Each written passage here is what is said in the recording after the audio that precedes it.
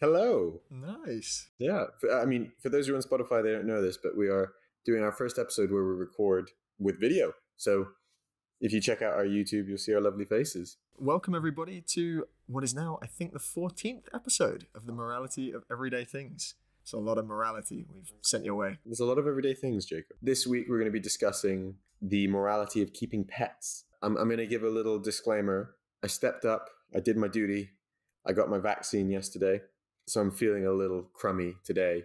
I was convinced, like, oh, I'm a big tough guy. I'm gonna be fine. Like, whatever. It's not gonna, not gonna hurt me. But yeah, it really, like, I was feverish last night. Don't worry, by the way. It doesn't. It doesn't make you. Um, it doesn't make you contagious or anything like that. Yeah, it was worse than I expected. Like, and I haven't. The thing is, it's been so long since I've been ill. Yeah. Well, that's just your microchip sort of settling into. Bill Gates. Obviously, a joke. Sweet. Okay. And this question then. One thing before we uh, before we dive right in. Thank you to everyone who's subscribed and listened to the show so far. Do please drop us a review on Apple Podcasts or wherever you get your podcasts. Yeah, it, it you know costs nothing, but it's it honestly is a huge help to us. If you enjoy this even a little bit, head over there, leave us a quick review. If you want to get more information, then follow us on social media or use Substack.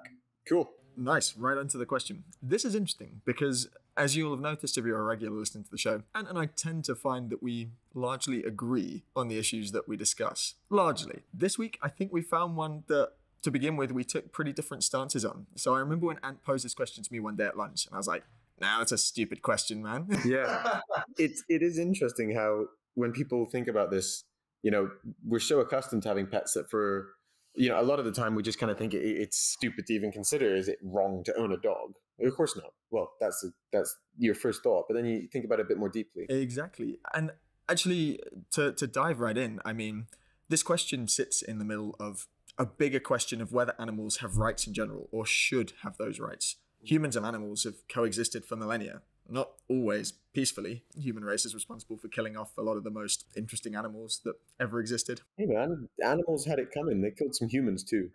I'm watching. I'm watching you. Funny because when I when I zoom into the camera here, yeah, it's not quite. It's a, eh. anyway.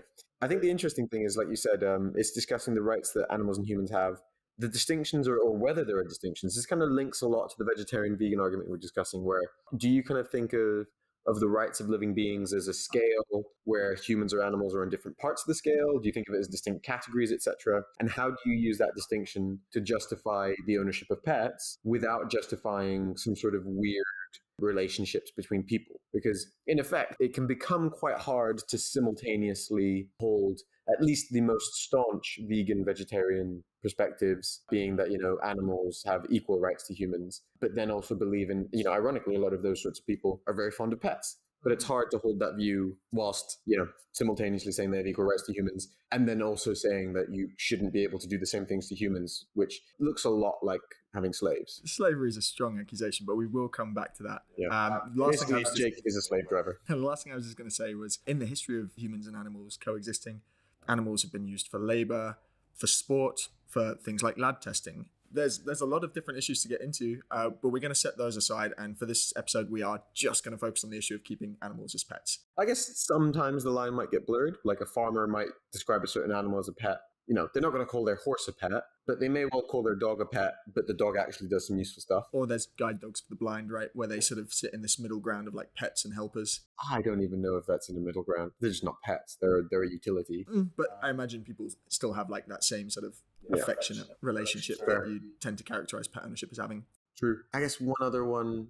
Oh, it was here a second ago. Sorry, guys. Vaccine mind right now. The microchip speaking to me. The other one that I was going to say was a lot of people have pet dogs for safety, right? Like guard Um, yeah, like well, the thing is, you there's a difference between having a guard dog and having a pet dog and being conscious of part of the reason you have that pet is because it might confer some safety. You know, so like someone who's at home alone a lot might like to have a dog because it makes them feel safe and knowing that the dog would say for example alarm them if someone's coming to the house is Mhm. a legitimate use but it's still a pet right they're not a guard dog like you wouldn't replace the dog with a security alarm Yeah, but it's more useful than a hamster.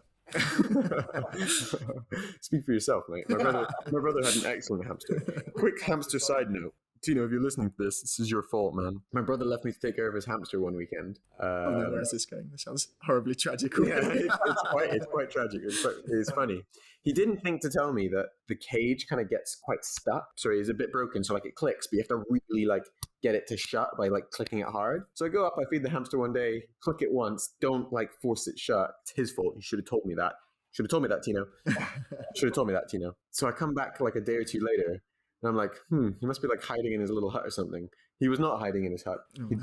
he disappeared. Oh, no. he, he had made the great hamster escape. And um, what was his name? The hamster. Tono. Tono. Tono. Tino and Tono. Yeah, my brother's name is Tino, for those who don't know, or Constantine Tino for short. Tono means like tuna in, idi- in Italian. I think it's also slang for like an idiot. Okay. You tuna. Fair enough. yeah. Anyway, this thing like crawled out and got. Also, my brother's uh, fridge had short circuited. So you know, two, two and two. I texted him like I was like, really sorry, mate. It was like little hamster emoji, lightning emoji, skull emoji. what a way to Um, break the news. Yeah, I know, I know. Actually, you know what? He was hiding in some recess somewhere. I was convinced he was dead. But my brother was like, if he's alive, there's one way to get him to come out. So he just grabbed a little pack of, of seeds and like shook it by where we thought, like the little recess, the little hole in the wall we thought he was hiding in. And, and suddenly there's a little like, and he sticks his little head out and he just grabs him. and like we stuck him back in the cage and he'd like, you know, he drinks water so quickly and all of his little um, whiskers were all like fried from chewing on, chewing on the wires and the. Also, sorry guys, to clarify, this is not neglect. This is a genuine accident. Um, you know, this is it, it was a very yeah. well, thank you, thank you for that introductory anecdote. Uh, Yeah. And now onto the question of why do people keep pets at all? yeah. Um, so do you want to do you want to give any kind of more specific definition to the term pet as opposed to other types of animals? Is it just an animal that you own for entertainment purposes? I don't know if I'd even go as far as entertainment. In answering the question, why do people keep pets? I think we get that definition, right? So, uh, from research that they conducted, they, the internet, I'd sourced somewhere, but primarily uh, they, sur- like whoever they are, they, they, there was a survey done of a lot of American households and UK households. They did a survey of them. yeah, can I be any less specific? So most people, in answer to the question, "Why do you keep pets?" Answer for companionship or for happiness. Or there's there is a small subset of people who, as uh, we discussed in the case of guide dogs and such, you have some kind of or, or guard dogs. There's there's help and, and utility conferred, but primarily it's companionship and, and, and happiness. And I think um, some fun stats for you listeners.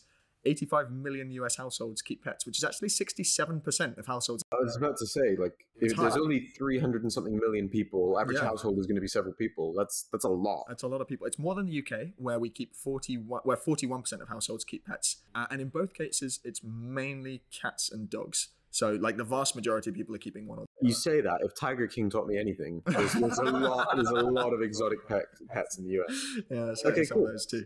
So now let, us like kind of quickly go through the reasons why. Just you know, off the top of the head, why might it be wrong to keep pets? According to what we wrote earlier, there are a couple, and one relates to idiots who, for example, don't close the hamster cage properly. you know, firstly, this is, I don't think, the contentious part, and maybe not the kind of meat of the moral issue that we want to discuss. It's pretty much like not really much to debate that people shouldn't keep pets if they can't meet their physiological or, or emotional needs. You know, if it's going to be an unfit space, if they're not going to be able to be taken care of, etc. And actually, you know, also certain breeds, right? So Tiger King is actually a good example of this Great example. it's it's just not appropriate to try and domesticate those kind of animals. They don't really survive in domestication. They're not happy. Mhm. Um, and actually, this that kind of reminds me. It jogs my mind. I'm sorry if the person listens to this and recognizes themselves in this anecdote. Part of the reason I asked this question is because I met a friend of a friend who owned a large golden retriever, and they lived in a flat in central London. And like I saw it, and I was like, "This dog is super cute. Oh, that's great." And I, but I was also immediately like, "That's pretty like crappy for that dog." Generally, they're the kind of breed that would need a lot of space to run around, right? Yeah, yeah, like, and, and it might be very gratifying for you. Maybe that's the dog you really wanted, but it, it- sorry to that person, but it, it did strike me as, oh, maybe that's not meeting the animal's needs. Maybe it's a little selfish, prioritizing your enjoyment uh, over over that. And also, I mean, people, for example, you know, there's tons of dogs in existence, but people putting pressure on breeders to breed specific dogs because they're the ones that they like the look of and things. Thinking of pugs. But yeah, I mean, specifically, yeah, bred dogs that are bred to also be really unhealthy. Golden retrievers, huge cancer rates. This was kind of part of what made me bring this question to you. For those who didn't get it, Jake's a big dog fan. Uh, you know, what? I was a big dog fan like two years ago. I've seen a few people get dogs recently, and dogs are like shitty kids. Dog, like, It's a dogs are like all of the bads of having children, and then they never grow up. Like instead of like reaching teenagehood and then becoming an adult, they reach teenagehood and die. Oh, but I think some people might even argue that dependency, for want of a much nicer word, is actually part of the appeal of pets. You get to care for Well, them. that sounds like people who have psychological needs that they're trying to fill yeah. selfishly, as we'll discuss. But you raise a really interesting point, and I, I took this question to my parents um, a week ago when after we discussed it, and I said, you know, what do you think? And their initial response was, it's wrong in the case of people who aren't able to meet an animal's needs. So COVID, I think, gave rise to a lot of people um, getting pets in people who probably wouldn't have done otherwise, but they were like, I'm going to be stuck in, in at home a lot. I need, I, you know, the companionship would be great. But if you're living in a city, like in the case of your your friend or friend of a friend, or in the case of different particular types of animals, I think I think it's actually it's very clear cut to say if you're not in a position to meet an animal's biological or psychological or physiological needs, whatever, then yeah, it probably is Uh, wrong to keep an animal in in those circumstances. difficulty is different people will argue that those are different, right? So some people will be like, saying "Ah, it's subjective as to what an animal needs, or it can be, Mm, right? I mean, and and also certainly aside morals aside, there's certainly no laws where we test it um, within reason. There might be things where it's like maybe it's like gun ownership where they check like what, I know. license or something. Yep. Um, but then ano- another thing, and this is kind of the more fundamental one, as we kind of mentioned in the intro. Okay, what if you actually believe that animals are autonomous beings? What if you? How are you going to categorize their rights and yet permit their existence essentially purely for for your enjoyment? And the fact that like legally and in all practical terms, they are your property. Yes, Um, that's the key word there. Yeah. It? In fact, you know, it's worth noting that like often when it's inconvenient, we we put animals down, right? Okay, inconvenience is one circumstance. It can be actually out of a case of like Yeah. benevolence and But the, but the point is that we treat them distinctly from human beings. So my issue is, it seems that how, how do we square people who love animals so much and yet actually are essentially keeping, you know, keeping them, mm-hmm. I don't want to say trapped, but basically breeding them into this kind of, I can't think of another word, trapped situation for their enjoyment. I just find it hard to square. I find it, and I find it hard to define their set, like an acceptable way of defining their rights that permits breeding weird breeds that look cute, neutering and and and spaying and castrating them. You know, all of the kind of negative things that that come with creating animals purely for your enjoyment, and how that is acceptable if you know typical vegan vegetarian arguments against livestock raising is unacceptable, right? I mean, if anything, enjoyment is more frivolous than than food and and uh, nutrition, right? well, we've certainly seen that in the case of COVID laws, right? It's tended to be that you know we have rules around things that we deem essential, and Yeah. generally enjoyment seems to be Well, yeah, people ge- generally are like, "There's time to enjoy life later. For now, let's focus on surviving." Which I, yeah, is a thing in itself. But I think that's kind of a, a we kind of pointed at the question, right? to, to give a sort of analogy that's also related to animals, it's why we outlaw things like fox hunting, right? Because it's something where it's like, this is purely for your own enjoyment. In that case, an animal is very clearly suffering, but it's very easy to make a moral case as to why that's mm. non essential and, and, and why that's a bad thing. I suppose in that instance, the, the problem is that the, the thing is suffering. Exactly. I think that makes it clearer cut. But enjoyment seems like too frivolous a reason, whereas an animal suffering for people consuming and eating them, Yeah. different Yeah. case. And I, I suppose the, the argument that most pet owners will make in immediate retort to this is, "My pet loves me." Mm-hmm. right? I'm, I'm, I'm good to my pet and my pet enjoys the situation. And again, I, I suppose the difficulty is twofold.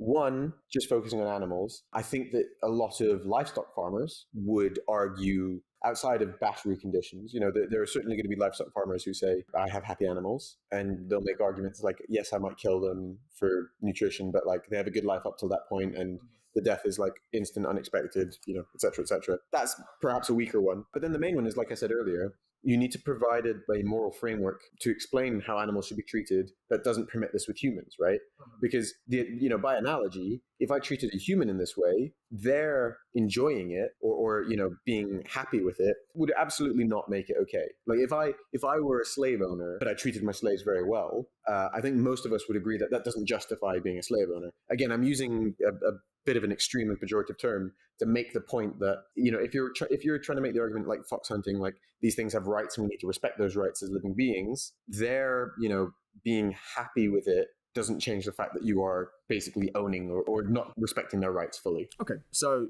just to summarize where we've got to so far, there are two reasons we think why it might be wrong to keep animals as pets. Mm. The first is kind of a practical one. If you're not in a position to keep them under decent circumstances, meet their needs, then I'd say that's a fairly unambiguous case that even animal lovers would get behind as it would be wrong.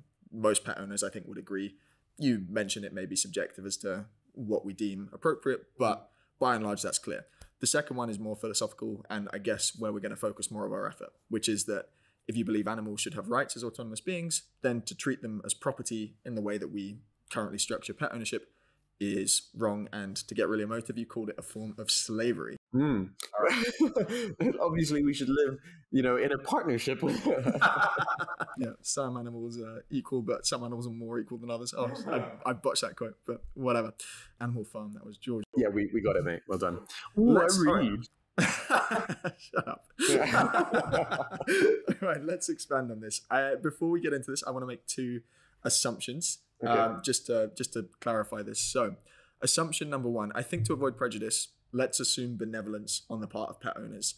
Kind of anything else, I think, would be to fall into that first argument of like, if we assume pet owners aren't kind and, and doing this out of love and, and a mm. genuine sort of intent of companionship, I think then we stray into that, like, you know, well, it's wrong for that reason. So I, I think that's a fair assumption to make, right? I'm going to I'm going to permit that assumption. Thank you. But I do want to point out that from a utilitarian perspective, um, actually, the fact that that is not 100% the case could be a strong reason. It does matter. You could make the argument that suffering of an, unnecessary suffering of animals is unacceptable. Some number of pet owners are not benevolent. And so allowing pet ownership like effectively guarantees that some number of animals will suffer because of terrible pet ownership. And, and just to put some numbers on that, I think it's as many as six and a half million animals in the US end up in rescue shelters, which yes. is, is that in the US or is that in the UK? Bear with me. I'll just double check that. That's like one tenth of the UK's population. It's, that must be the US. It is in the US. And that the reason I kind of wanted to, to assume away that is I think, again, animals ending up in rescue shelters because they've been badly treated. Again, I think even animal lovers would get behind as wrong. So yeah, we're I, am kind of. I get what you mean. I, I, wanted to make that little practical point that fair, you could yeah. you could make the utilitarian argument that even if you treat pets well, you should accept that it shouldn't be allowed to stop other people to guarantee that they can't do it. Sure. But it, in order to address the moral issue that I think we're more interested in, I will permit this. Yeah, we want to focus on the case of a loving family where people feel the pet is basically part of the family, which is something, yeah, I can identify with, and possibly Tino and Tono, to how strong that bond was. But oh man, that was. I remember the day that they buried Tono. Oh, it was rather unceremonial. he was just stuck in a little uh, hedge somewhere. Oh no! What in was a little it? shoebox. What was it that finally did him in? He's a hamster. They just don't live that long. Like I, I think he just at some point was he was very old for a hamster. He survived the the whisker uh, incident. lived lived quite a lot longer than that. But, you know, at some point he just, just didn't wake up one morning. Oh. And Tino sat on him. but no, no, no, no. It was it was um, he just died of natural causes at some point. Assumption two. Assumption two. There's two assumptions, and this is a counterpoint that I raised, but I think I wanted to kind of assume this away because it's a bit not trivial, but I think it, it misses the point. So what you might think immediately is, well, if you want to outlaw pet ownership, if you think it's wrong, then what would happen to the existing set of animals? Um, yeah, it's a fairly natural thing to think about, but I think we want to assume a way that if that were the case, obviously we have a moral imperative to treat the last sort of animals that exist as pets as kindly as possible. to stop breeding. But to stop breeding them. So uh, basically, before you worry about like if we're saying this, we should mass cull like all the pets in the world. No, I don't think that's a, a realistic sort of outcome. I think the practical thing to do is to care for the existing set of animals. Yeah, I think, and again, we keep coming to this analogy which you seem to dislike, but the analogy would be someone saying, "We can't ban slavery because what are we going to do with all these slaves?" Right? Like, which which obviously is a ridiculous argument. Like, hmm. they, like step one, stop making them. Step two, support the ones that currently exist. And I suppose the difficulty with animals versus slaves is that you know slaves you can you you should support and nurture into free people, like as in giving them support to access property and things like that, which actually the US did a terrible job of, and is part of the reason there's still big systemic inequality. But you know, in the case of animals, like a lot of these animals are now literally Bred for bred, bred to bred to the point where they like there is no freeing them, right? Mm, which is a challenge. And so if that were the case, then there kind of becomes a policy question around whether you should continue to breed them or just kind of kindly Yeah, yeah. phase that out. So yeah, just again, like if if we if you were to fall down on the side of okay, we shouldn't keep animals as pets, that's not to say that existing pets should be turned out or or, or, or What was ridiculous. what was that thing where like uh, I don't want to spread misinformation, but wasn't there like some stat around like animal charities who put down a ridiculous number of animals because they can't home them? I, yeah, I don't have a number for that, but Yeah. I imagine it happens. I, d- I don't know that it, it. I'm just mentioning it because it popped to mind. That like it's not super relevant. So let's uh, let's dive right into the question, and I, I guess the obvious place to start is what rights do animals have, and what rights should they have? Hmm I suppose the first answer is fairly easy. I, suppose there's there's a couple things to consider, right? Like first of all, the rights that animals specifically should have as living beings, but then maybe we can also explain a little bit about about freedom, assuming that freedom is something that a, a living being should have, and we can talk about we can just touch on some of the forms of freedom that things should have, right? Let's do it. So I- I think we'll, we'll start the other way around, actually, talk about those forms of freedom. I think the most famous philosopher in this regard is probably Isaiah Berlin. Mhm. And he talks about positive and negative freedoms, right? Positive and negative freedoms, yeah. So I think that the easiest way to think of negative freedoms is freedom from, uh, and it tends to be freedom from, you know, typically physical impediments, you know, practical impediments, like being chained up is a negative freedom issue. Uh, being imprisoned is a negative freedom issue. You know, being locked in the house as a dog is a negative freedom issue. Positive freedom would be more like uh, freedom to do the do what you would do in the best circumstance for yourself. Okay. The, the positive freedom is much more ambiguous, right? I think the point there is that, like, if I'm free to take heroin and I take heroin every day, we want to try and articulate the point that, like, okay, you're not quite free. Like, the thing that is is stopping you might not be in the physical world, but there's something stopping you from from doing what you yeah. may want to, what may be in your best interest, right? Mm, fully self-actualizing. Yeah, some sort of wanky term like that, right?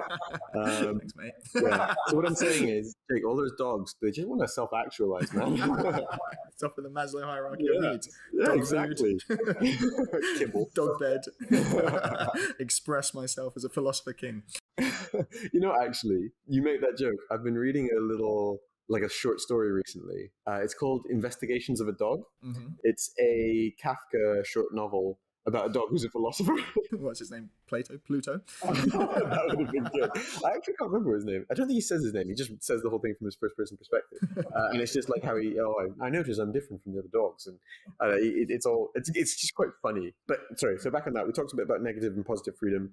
So there's an issue of of negative freedom in that you know they're literally constrained by what you're telling them to do, and then beyond that, okay, you could treat your dog very freely, I suppose the, the question of positive freedom is can they properly self-actualize for lack of a better word in in the way that is actually perhaps best in their own interest or in their own nature within the confines of a domesticated setting at all like even if you did everything to give them all the space and, and there was no you know you weren't one of those people who like sets the schedules for them and stuff Are we assuming that wild animals are able to achieve this? We're assuming like they're not being poached and stuff like that. i don't know maybe we're kind of just taking this a little too far behind animals Yeah, let's let's wait. Let's take a step back first. So we've articulated negative and positive freedom. To be honest, I just thought it was a nice place to kind of Mhm. discuss it a bit. Let's discuss the rights that animals have as living beings, and then see whether negative and positive freedom applies. Sure. So where do you think we discussed this in the vegetarian vegan argument? How do you think that the rights that animals have as living beings relate to the ones that humans have? Yeah, this was tricky. In that episode, we came up with a few different like models for for how we can conceptualize it because the one model simply goes, we're all living beings. We should all be subject to the same rights, and Mm. therefore, to kill any animals is tantamount to killing and eating humans. Murder is wrong. Therefore, killing Yeah. animals is murder, and therefore that's wrong. I, I think that's maybe a little bit simplistic, although it's very hard to really pin down why. We talked about capacity for suffering as being something that delineates it. So then, if you were to consider animals being on a spectrum for how much they can suffer, you've got humans at the one end who can suffer deep psychological angst. like they Can can, they can suffer like different levels because of our supposedly higher levels of consciousness. Supposedly. Well, You don't know what a dog's thinking. we don't know what a dog's thinking. I, I didn't realize a dog wrote a play. so, yeah. So there's, uh, I think, on the basis of suffering is I know that's how Peter Singer um, sort of talked. Does Peter Singer characterize them as essentially equal? I remember I saw him talk once, and he said, "Okay, practical situation. I'm starving. If I had to eat something like an oyster, I probably would. I wouldn't like you know something seafood that sort of probably experiences much lower level of consciousness would."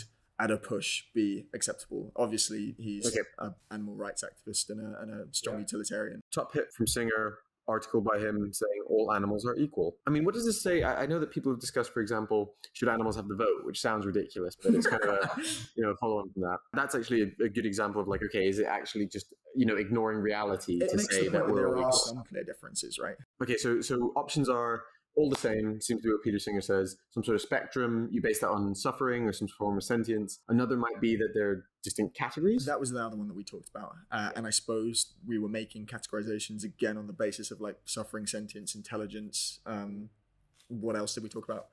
Uh, well, we basically uh, that I think was trying to answer the question of why do we keep some animals as pets and why do we keep some animals as like farm for for, for breeding? Like why do we eat some animals and not others?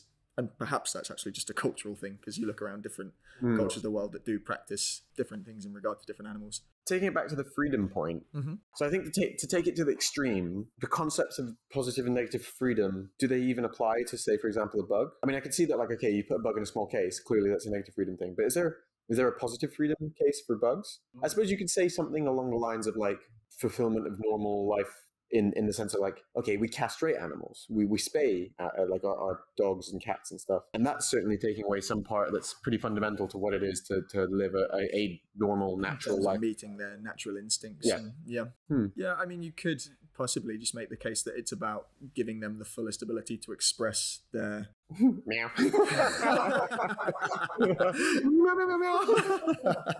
I was thinking of the case of um, uh, conservation in Africa and, and elephants in particular. Like they roam over vast areas, and over the course of time, we've had to introduce like boundaries, so uh, you know, so that they don't get into trouble, wander into poaching zones or, or like Roads. roads, towns, cities, and people talk about, you know, does that actually take away an elephant's fundamental freedom to roam? What it is to be an elephant. Yeah, what it is to be an elephant exactly in, in terms of walking Hmm. vast distances in their in their herds. So maybe it is relevant to how we distinguish the animals.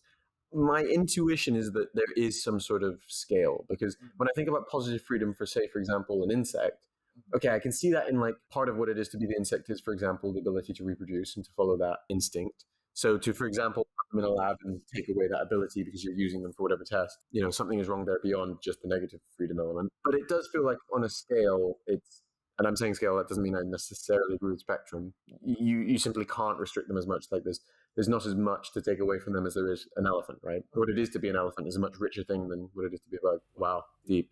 Um, okay, so wait, let's. I think I think the fundamental question when it comes to pets is more around that negative, right? Right. It's it's about like pet ownership legally is classed as a form of property. Mhm. That's clearly, you know, do do animals have the negative right not to be property? If we were to say animals have that negative right, then I suppose that outlaws not just pet ownership, but every other treatment of animals that we have, like labor uh, and, and and lab testing and stuff like that. And that I Practically, what's the alternative? release them all into the wild. So what even is the wild nowadays? Like, yeah. how do you take like a pigeon and release it into the wild? yeah, I know. I remember I was at the zoo in um, there's like a little mini zoo in Golders Green Park, Mhm. Golders Hill Park, uh, and you're walking past. You know, there's some pretty cool stuff there. pigeons in the zoo. wait, wait for it. There's like wallabies. There's like King Julien one, uh, lemurs. The ringtail lemurs. Like, to move Like, it, move yeah. I like to. move- They're, they're great animals there. It's it, you know for a little free zoo, it's awesome. And then one of them is a bloody pigeon. It's, it's an African pigeon, and I'm like, mate, I see these ev- like he's slightly different, but it's a pigeon. need to think. Okay, I, I get what you're saying there. Are we leaning towards categories or spectrum? Because I, I feel like you know I feel like it's too extreme to say like all living things have equal rights. That's patently mm. ridiculous, right? It's a really tough one. I actually don't know. I, I can't remember where we mm. came to in the vegan argument. I feel Yeah. like we talked about categories more enthusiastically then. Yeah, I think categories is is the only way you can consistently be quite so against um, retention of animals for livestock purposes, but still own pets. Mhm. That being consistent doesn't mean it's right. I actually think that the lines we draw between pets and livestock can be so arbitrary and weird sometimes. Well, we talked about pigs, didn't we? That's Yeah, a yeah. particular case of a very intelligent animal that, Yeah. unfortunately, because it meets a number of things that Tastes good. exactly meets a nu- ticks a number of farming boxes and Isn't cute enough. Yeah, no, I, I, feel you. I, I would say I would say I lean towards spectrum, but I feel this okay, I'm articulating it now, I'm getting it. I would articulate it as spectrum, but I feel like a lot of people naturally view it as a category. Mhm. where they where they separate pets and and livestock. My spectrum argument is part of the reason why I feel uncomfortable. I don't understand why we're happy to argue that we should be respecting these animals and not, you know, trapping them, etc., cetera, etc., for our own benefit. But then because the benefit is your enjoyment and the pet isn't necessarily actively suffering, that that suddenly like collapses that argument. So that's that's my overarching feeling. That's why I'm kind of like, hmm, I don't get why we have pets. It seems a bit unfair on the animals. okay now earlier you made a pretty strong charge You're a slave owner. that pet ownership is a kind of slavery. I think obviously slavery has all sorts of connotations around abuse and Not and necessarily. it doesn't have to, but it, it, it does, right? It has it has connotations. It's not explicit. It, I agree. It doesn't have to be true definitionally. There were kind slave owners, I'm sure, but uh, obviously that it, Thomas Jefferson was a slave owner. yeah, and, and people quote him all the time. I think he was supposed to be nice. Doesn't he have like illegitimate love children? I don't know. There was, I I swear, there's like a, a Key and Peele sketch where like it's lots of African Americans and it's going through like people uh, and like all the white people are like I'm related to blah blah blah. It's like Ancestry.com style ads, right? And then every African American person is like I'm related to Je- Thomas Jefferson. That's pretty cool. I haven't seen that one. uh, it's quite funny. Um, so yeah, that doesn't have to be true definitionally, but it does quite emphatically make it, it, it drives home that point of like, is this wrong? And it, it sort of Benefit to the owner is the primary purpose, yes, and when it's not beneficial to be benevolent, it may they may no longer be. Which, to be fair, can can happen with uh, pets. When a pet is annoying uh, or starts humping your leg, you cut its balls off. yeah, yeah, or humping other people's pets. Hmm. But I'm benevolent to it all the, all the rest of the time, so it's kind. I remember that was um, it was one of the most challenging things with uh, with owning dogs. I remember when we did get our male dogs castrated, and I was, to be fair, I was I was a teenage boy at the time, so I protested against this. I was like, "This is horribly wrong. I can't imagine anything worse." Yeah. and uh, I remember the dog coming home from the vet, and he looked at me with such betrayal in his eyes. Where are my balls, Jacob? I sat sat with him, and I was like, "I'm so sorry." oh man, man, he looked at you. He's like, I had a chance of getting laid, Jake. it's like you had both of our best chances. yeah, I think that's that's such a funny one as well. Like, we'll come to putting animals down, but like one thing is we're so comfortable with we we, we lean so much on norms rather mm. than thought, right? We do stuff like that. That that sounds terrible. When people are like, I'm really kind to my pets, like. Is it that kind to remove their ability to reproduce and cut their balls off? well, the reason it happens is like it's I know why it happens. it's kind of uh, in some ways conforming to societal norms and needs. It's for their it's for their own benefit in the sense that oh, no no no, no. Jake, I'm going to cut your balls off, and it's I'm going to tell you it's for your own benefit. Hear me out. There's too many, Jake. Climate change. I'm going to cut your balls off. Hear me out. It's because the hormones, etc., drive animals to behave in a way that potentially get them into the kind of trouble that means So, they get so what you're saying is, what you're saying No, is, when like a dog behaves, right? This is but what you're saying is, when a dog behaves like a dog naturally should, and it doesn't benefit my enjoyment as an owner, I can It's be not about incredibly cruel to them to no, fix no, that. it's not about your enjoyment. It's about it's about the dog's own behavior and prospects, right? If, if As a pet, not as a wild animal. yeah, sure, um, but it makes them aggressive. Yeah, which is negative by what measure? Well, the point the point is It's not negative for the dog. the point is if you cut their balls off and make them less aggressive, then they're less likely to get themselves into the kind of trouble where you'd have to put them down. Because You can make the same argument about slaves, I, I'm sure there were slaves that were castrated. I, and I'm saying it's a terrible thing. I'm not saying it's a good thing, but I'm saying Being aggressive is a natural part of being a dog yeah. in some instances. And in the case of like um, female dogs and female animals, you do it because actually it's like apparently it's medically beneficial. Like if you if you spay them, they're less likely to get all sorts of other cancers and diseases unless you're planning to breed from them. So Well, I think the primary purpose that we do it, aside from behavioral stuff, is just to stop them breeding. yeah, it un- is. It is unless you're uncontrollably. to breed them. All right, but okay, since you're talking about slavery, what is the legal definition of slavery? I looked this up. Ownership of a person. A slave is a person owned by someone, and slavery is the state of being under the control of someone where a person is forced to work for another. So, work is actually a key word in there. A slave is considered as a property of another as the one controlling them purchases them or owns them from their birth. In slavery, the slave does not have a right to leave the owner or not work for them. Slavery is a form of forced labor. They do not receive any remuneration for the work that they do. So, work becomes a key component, right? Mm. Like, if and this is the thing: if you receive board and lodging for your work, you aren't a slave. If you receive some kind of remuneration for your work, you're not a slave.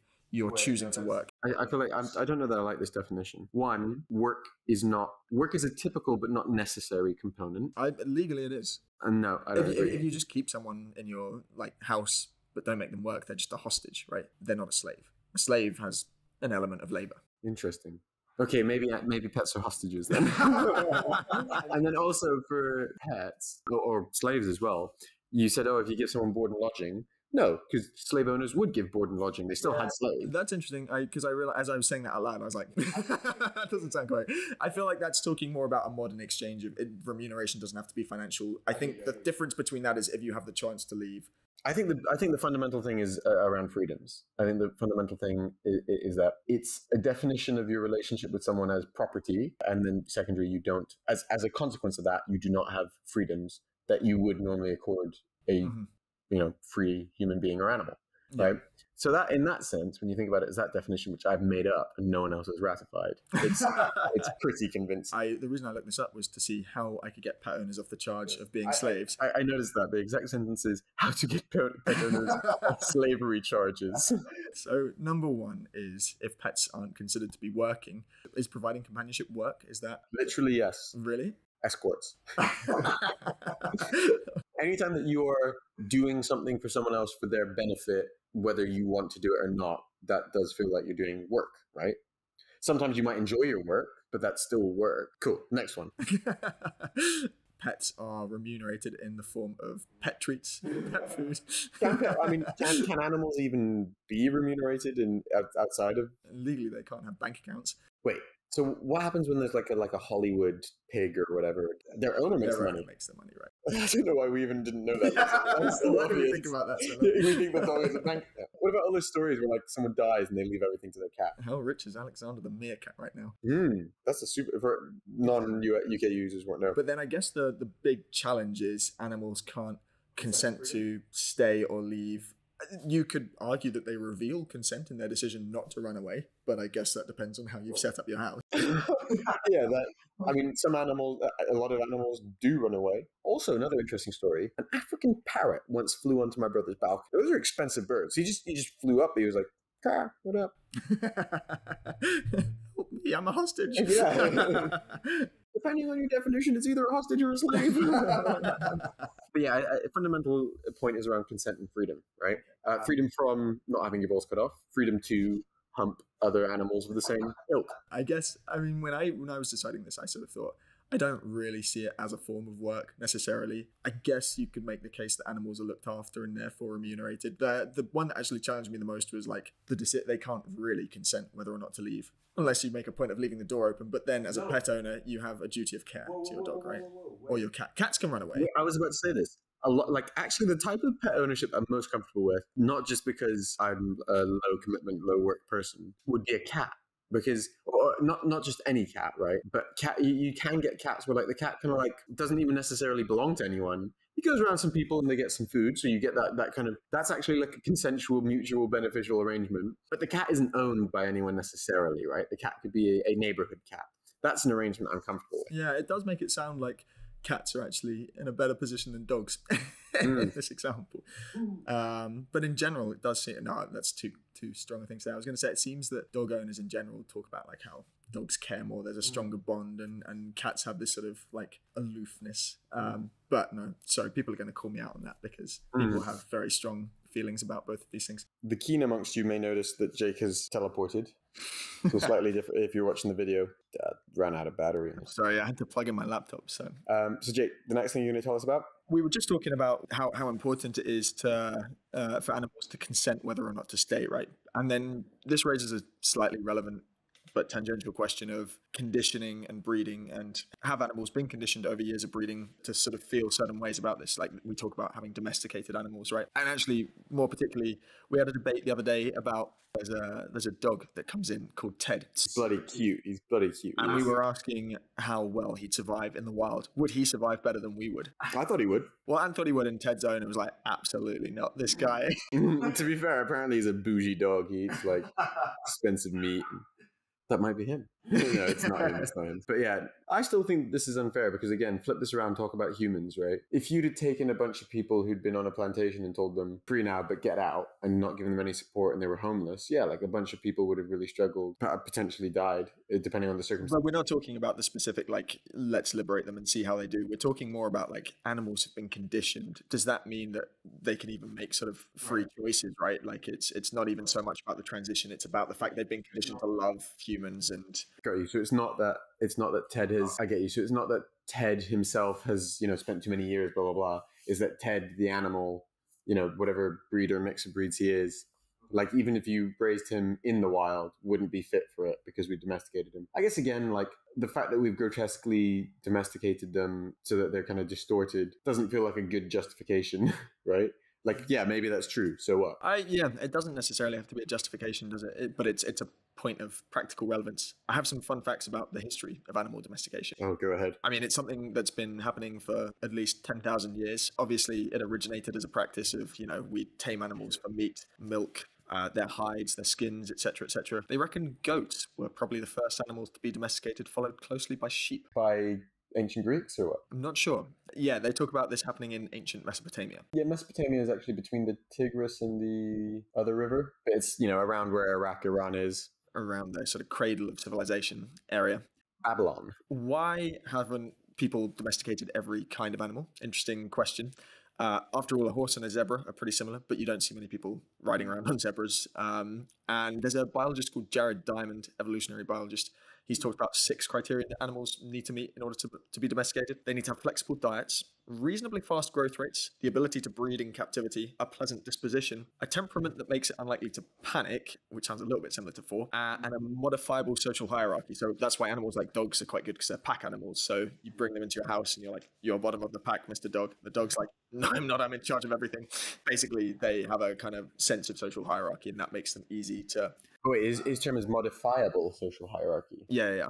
So, but you that, existent, modifiable. Well, but you compare that to like a tiger or a lion, uh, maybe not a lion, but tigers and leopards, which are like you know they're they're fairly solitary creatures. They don't Okay, have. You. So, so having no social hierarchy is definitely not having a modifiable one. Yeah. And some animals might have very strict social hierarchies, which might make them not suitable. But some animals, like Mhm. yeah, like are, are can kind of fit living with humans into the hierarchy. Fair enough. He says, with these characteristics in mind, it makes sense that a relatively good natured pig is domesticated, while a violent warthog is not. But just to segue into pet keeping, people haven't actually kept pets in the way that we know it for that long. As in pure entertainment. As in, in form we talked about with like companionship, right? Like people reckon it's actually a Victorian invention. It's probably only been happening for the last hundred years or so. And even in Victorian times, it was the preserve of the wealthy. Like, That's that's funny to think about, right? Like for the majority of human history, we didn't have enough excess resources mm, to consider wasting them on animals who were, were, were like literally lapdogs often. Like, Mhm. you know, with the, with the exception of like Chinese emperors and stuff, like it didn't make sense to waste resources on an animal that wasn't going to be of use. Yeah, well, I always think it's interesting to look back on stuff like that because I think, particularly with pet ownership uh, uh, uh, and other things we've talked about before, we're so used to the way things are now, but we don't realize in context that actually it's not been that way for very long. It's, it's a relatively new phenomenon. You know, in present day societies, dogs have a number of functional roles, and, and they talk about like dogs being actually status symbols, they're ornamental, they're Ornaments. helpers. Companionship is, I think, still the one that we we sort of mainly talk about. Interesting. It's it's a relatively novel phenomenon, which I think is is Yeah. is a relevant thing to to bear in mind. Something for you. Uh, it might be Jared Diamond, even. Uh, his name's familiar. Or it might be the guy from Homo sapiens. That's Yuval Noah Harari. Jared Diamond was the guns, germs, and steel guy. Yeah, yeah, yeah.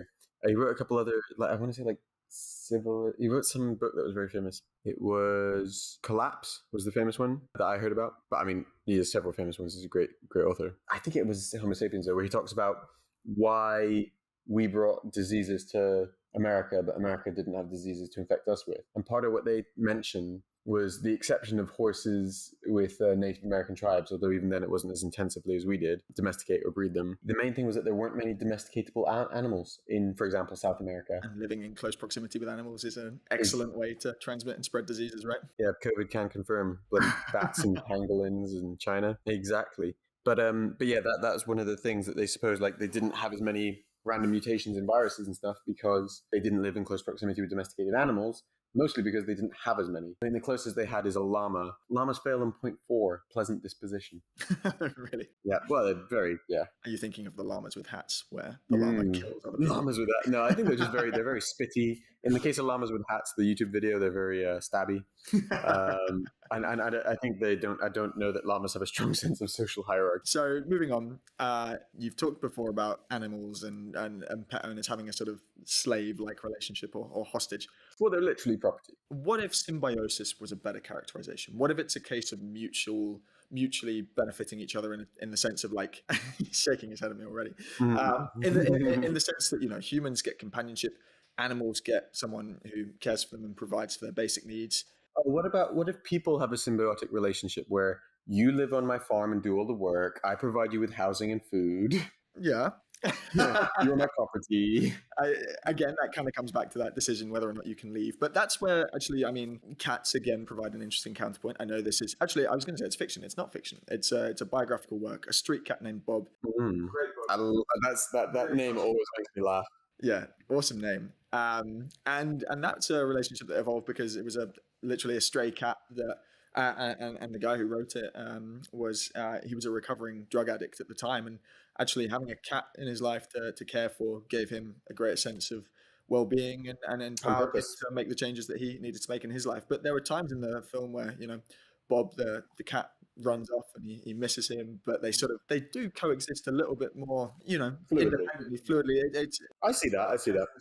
But then he's yeah, but that's the point. Then he's not a pet. A pet is a pet is almost by definition that kind of ownership structure, which I think is just not symbiotic. Like the fact that you both benefit doesn't make it a symbiotic relationship, right? what because you can have that in the sense of like A slave owner being kind to slave. Right? Sorry, the fact that like some amount of benefit exists on both sides doesn't make it symbiotic. It's that like what is the definition? It's certain animals choose to closely coexist. I think it's just coexistence for mutual gain, right? You see symbiosis in the animal kingdom all the time. In the case of like, I'm thinking of for some reason whales, and then those tiny little fish that clean them, and the whales like. Sort But in those cases, in those, in those cases, they choose to be together because because they both benefit sufficiently. The fact that some benefit exists doesn't mean that both animals are are choosing to be there because of the benefit. So what I'm saying is, if you if you have a relationship with two things, the fact that I confer some small benefit on you doesn't then turn it into symbiosis, right?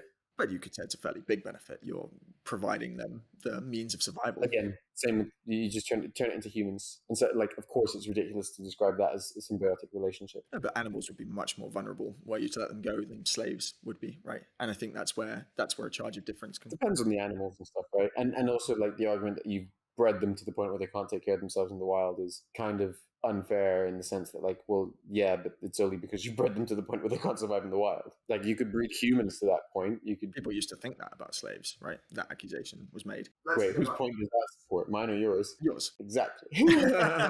Let's move on from slaves. Mm. Let's try a different question. Why is pet ownership different to having children? You think about Do I really need to explain that? You think about having kids um, in a in a state where they're vulnerable and you care for them and nurture them. They don't have total autonomy. They definitely don't have freedom to run away from home. Yeah. Why is it different? I suppose a lot of people would argue that like children are kind of pseudo property, but they're definitely not property, right? So for one, you can't put down a child at your leisure. Um, you can't I think at your leisure is a bit harsh. Yeah, well, I mean, you know what I mean. Like, you could choose to put an animal down. You don't need a very good reason to do so, right? Like, literally, I've seen cases of people are moving far across the world, and it just wasn't practical to move the animal with them, so they put it down. You can't do that with a child. So, so sometimes children might kind of look like property or behave practically like property, but clearly they're not property, and that's like the biggest distinction, I think. Uh, also, children become rational adults at some point, right? You're nurturing them through child child stage, but they're not going to permanently be in that state. Okay, but what about the case of a kid that might have a severe life impacting impairment? You know, something which means they're never going to be fully functioning autonomous adults because they're going to need nurturing and support possibly forever. Mm-hmm. Okay, so I think there's one of there's one of two circumstances here, right? So one, you are having a child and this happens and you know you didn't like select that it, it randomly happened and then you're kind of dealing with an unfortunate situation. Whereas you're saying you would select a pet, right? yeah whereas you select a pet. Um, but then on the other hand you know there might be a circumstance where someone chooses to take um, such a child on. You know perhaps that's more of an act of sympathy or charity as opposed to the, a typical parent-child relationship right? I don't think I I don't think most parents who are looking like, oh, I want to adopt a child, you know, are, are looking. The, the person who takes on someone with severe developmental issues or something like that is very different to the typical parent taking on a child, right? Mhm. Um, it's hard to articulate because it depends a bit, but the reasons as to why they do that are surely quite different. The analogy I'm trying to draw there is just that uh, we're we're talking about two similarly vulnerable beings, and if you're approaching them again, not as treating them as property, you're you're trying to give them the best life possible, which I Mm. think again is something we assume most pet owners are trying to do, right? They're not out to treat animals as like Well, again, not everyone, but like in general. Mhm. Um, then then there's overlap there, Mhm. and there's, there's similarities, and That's true. No, I, I take the point. It, it, there are some similarities, and it can be hard to articulate. I mentioned putting pets down. Mm, I guess one one argument could be that perhaps rather than us putting pets down is evidence that pets are different, we're just too sanctimonious about euthanasia amongst humans. I think it's something we definitely want to get into in another episode. But I mean- I, would agree with that. I think actually, you, I mean, not in the circumstance I described, where like we're going somewhere it's inconvenient to take on holiday. Yeah, we're moving to Australia. We can't practically take our dog, so can't practically take grandpa. So no, there's more to talk about there. But it, it's true. We could definitely. Uh, normally, people consider putting down animals as a humane way to give them like a kind end of life, and actually, certainly arguments to be made that we don't treat our own elderly relatives as humanely when they're they're sort of made to uh, suffer unduly. I don't want to get into that too much, but I think it's something people can relate to. fair. We need to wrap up because I'm very close to running out of battery. All right, let's do this. Let's summarize. Okay, Jake. What's you know? You started out like this is ridiculous to even discuss. Now that we've gone through it, how how do you feel? It's more grey area than I hoped. so, look, I mean, we, we gave two reasons at the beginning as to why pet ownership is wrong or could be wrong. The first reason I think is a clear yes from me. I think any case in which an animal is being treated unreasonably or you can't meet their needs, fine. I'd, I'd agree that's wrong. I don't think that's contentious. I mean, that's just not that's just not abusing living things. Yeah, yeah. Talk about suffering. That's that's fairly clear cut. The second area about how should we recognize animals' rights, I, sit somewhere in the middle. It's it, it's tricky. Um, a- And again, I mean, we made some important assumptions. If you're not a benevolent pet owner, then I think again that falls into the first reason camp. It's it's just bad. If you're having an animal purely for like as an ornament because it's it sort of makes you look great, and and you're not really Taking care of it. taking care of it in the Uh, that's kind of just straying into the. it's straight into the first reason, and I, and I think that's that's a fair assumption. But in the case where where most sort of families with pets fall, where they treat the pet almost as an extension of the family, it doesn't feel like treating the pet as property. You raise some excellent points around like, okay, You castrate. you wouldn't castrate your kids. You certainly like, you know, you wouldn't sort of keep them restricted to. Uh, you, you wouldn't take kids for walks on lead, with leads, right? Like, No, no. And there's also, it's, it's funny. It's just little things, and it's like, oh, but that's what they're used to. Where it's like, isn't it insane that you have this animal and it's only allowed to go to the bathroom when you say so, and it has to hold it for hours? Like, imagine that. That it's, I, I don't know. I, I I know it's a weird and unpopular opinion, but I just I think it's weird that we uh, like, particularly a lot of people who are you know, very kind of like, oh, how can we take advantage of animals for meat and and and byproducts? Particularly that a lot of those people are very like, I love pets. I- I personally don't really get it. I think it's a bit unfair on the animals. It seems a bit strange to manufacture life purely for your enjoyment and then to treat the living thing like I, like I think castration is the perfect example of where like you know it, it's clear cut that when push comes to shove this being exists for your for your convenience and pleasure and enjoyment and when it's not convenient snip The only thing I'd say in counterpoint is I think just to talk about it being for your enjoyment maybe trivializes the extent of the benefit that Hmm. humans and animals receive from from pet ownership, right? And let's focus on the humans. I mean, let's let's leave animals to one side. Like companionship clearly is something that people get a lot of value out of. You only need to look at stuff like Marley and Me and similar tributes to pets just to see how much like love and, and, and joy people do get out of a pet animal relationship. Mm. And don't get me wrong, there's, there's there is a certain perspective in which like that's really valuable and necessary, particularly for say old lonely people. Sure. But that's the animal strays back into being like a, a, a utility or work animal as opposed to a physical embodiment of my leisure and enjoyment. But then would you say it's correct to keep guide dogs for the blind, but not to keep general pets? Is it, are you drawing the line purely at the basis of like what you need them for? You're saying, Well, yeah, I'm, I'm I for example eat meat, so I mm-hmm. don't. I, I think humans and animals are not uh, like equal. I think that animals have significant rights, but you know, I do think that necessity for humans, because humans are more important, can mm-hmm. override. And also, in the case of guide dogs, you know, it's actually much easier than you know. I, like I said, I eat some meat, not huge amounts. Don't worry, guys. And very rarely, very rarely red meat. You know, I eat some meat. Like it's not really hard in that context to consistently justify. Like, yeah, I think having a guide dog is fine. Right? okay, so you It's think like, much harder to justify that when you're like a hardcore vegan type. what about sheepdogs? Same same deal. You're saying they provide enough utility that humans generate, and then They're not pets. okay, so it's just it's actually the fact that you get enjoyment out of pets. You think is The, the, the point of having one, the point of having one is enjoyment. I'm just curious. You, you think that like the companionship pets could give to say elderly people is a subordinate need to But that's different. That's like that. That essentially is like a therapy dog. But the same thing is true with families, no? I mean, the older people enjoy more sort of needs and rights. Like, Yes, no, no. The necessity for an old person who, for example, might lack other human connections is obviously higher than you know a family who's seen some movies and the kids are like, "Mom, Dad, I want a puppy. I want a puppy. Oh, I promise I'll walk it." again, you're trivializing the the example, right? Like, that is not those children saying, "Mom, Dad, I lack connection in the real world, and I feel that one of the easiest ways to deal with that feeling is to have a living being who is cute and cuddly and relies on me."